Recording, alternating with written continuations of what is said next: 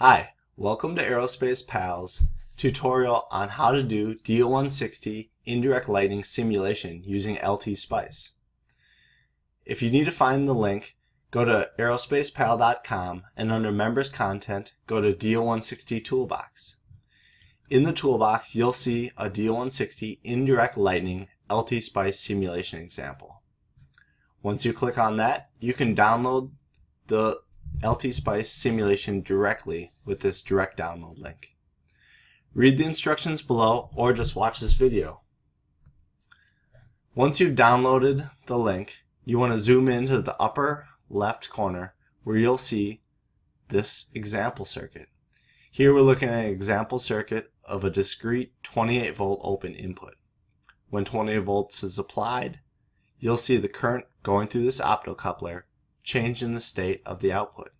When it's open, then there will be no current flowing and the output will go down to ground.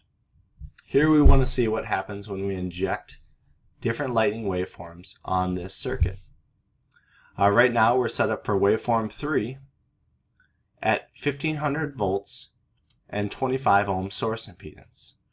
Here I've probed the actual transient generator before it goes through its source impedance. And when I probe the input pins, we can see that the signal is vastly reduced.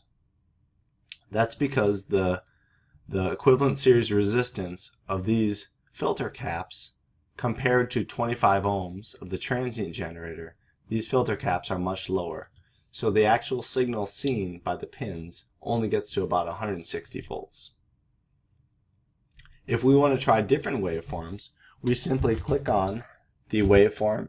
And if we want to try waveform 5A, we just change it to waveform 5A.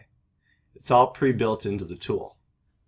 I know waveform 5A has a level 4 VOC of 750 volts with a series resistance of 1 ohm, or the VOC divided by the ISC, the short circuit current.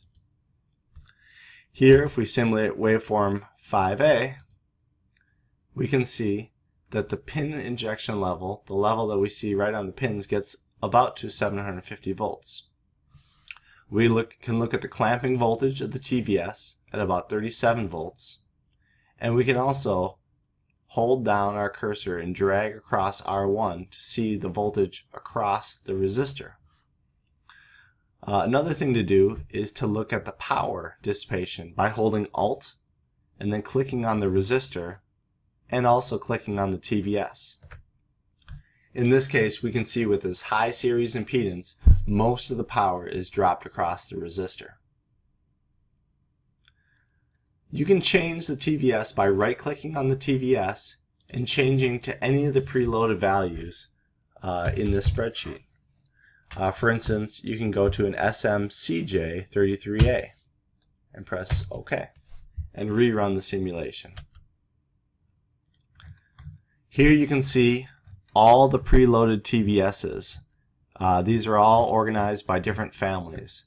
Uh, here's the SMAJ family, uh, the SMBJ family, CJ, and so on and so forth. Likewise, we have all the D160 waveforms from waveform 5B, 5A, 4, 2, uh, waveform 3 at 1 megahertz, and waveform 3 at 10 megahertz. So all of it's pre-built into the tool. All you have to do is put your example circuit here and then just adjust the waveform and your level based on the requirements you have. Likewise, the TVSs uh, there's hundreds of them. So all you have to do is right click on this TVS and then adjust it to whatever TVS you're using. And that's it. That's a quick link or a quick um, tutorial on how to use Aerospace Pals pre-built simulation tool for DO160 indirect lightning. You'll find all the links to the available content directly below. Thanks for watching. Have a good day.